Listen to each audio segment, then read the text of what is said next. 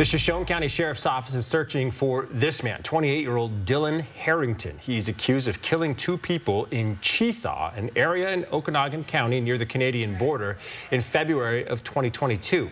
Law enforcement says Harrington was seen running from that property at the time of the murders, and they now believe he's hiding in Shoshone County. Anyone with information about Harrington is asked to call the sheriff's office.